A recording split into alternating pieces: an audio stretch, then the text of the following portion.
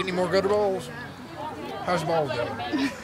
And then she, her dad would come in and say, "This is Kelsey's father. I Yeah. forbid you to talk to her ever again." Hey guys. You know what? Hello. Hey, my mom, or er, your mom told me to ask you about bushwhack. I don't get it. I was watching this show.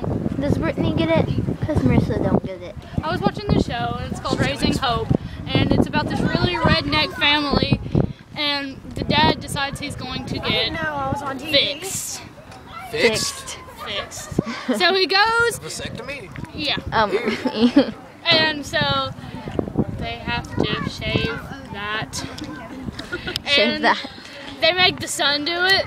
Ew, why would you do that? That's didn't want torture. to. Torture. And he's the dad. He's on this loopy medicine, so he's like, "This feels kind of nice. They should have a place in the mall that does this called Bushwhackers." I know what you're talking about. She told me to tell you that I was gonna take you on a date to bushwhacks. That's no, no. I actually was like, tell him that you're gonna take her on a date to bushwhacks.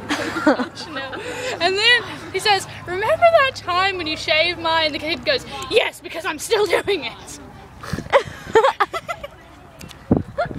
That's one of the funniest shows I've ever seen.